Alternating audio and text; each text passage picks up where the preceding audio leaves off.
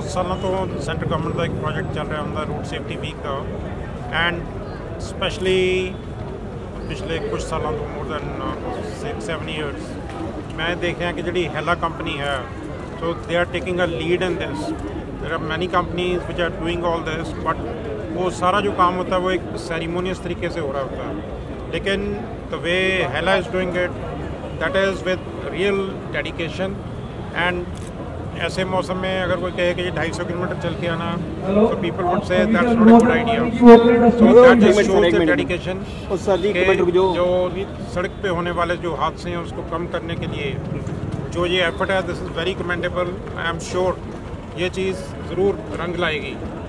I am very grateful to mister Pandey and his team of energetic people they are working on this let's keep it going till we are able to reduce death road safety week का ये उनतीसवां साल है but चीज़ें बदली नहीं है इसको बदलने के लिए सबको एकजुट होना पड़ेगा और हम ये कोशिश कर रहे हैं कि लोग अलर्ट हों, क्योंकि अलर्टनेस से हम बचेंगे।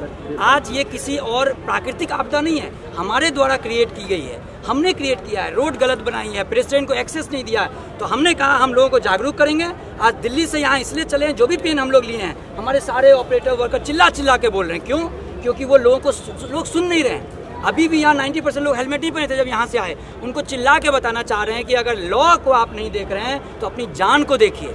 आप ये सोचिए कि आप आने वाले समय को बर्बाद कर रहे हैं तो हम लोग ये आंदोलन जारी रखेंगे, तब तक जारी रखेंगे, जब तक हिंदुस्तान पूरी तरह फ्री नहीं हो जाता है एवॉइडेबल रोड एक्सीडेंट से। क्योंकि ये सारे एक्सीडेंट में मैक्सिमम एवॉइडेबल हैं। चाहे वो रोड की गलती से हो, गाड़ियों की गलती से हो, ड्राइवर की गलती से हो, या वो ठीक से देखता नहीं है, ओवरटेकिंग में गलत करता है, ट्रकें हर जगह चलती है टेल लाइट्स नहीं होती है कहीं पर तो हम लोग टेक्नोलॉजी भी ला रहे हैं एज ए कंपनी और हम अवेयरनेस भी ला रहे हैं।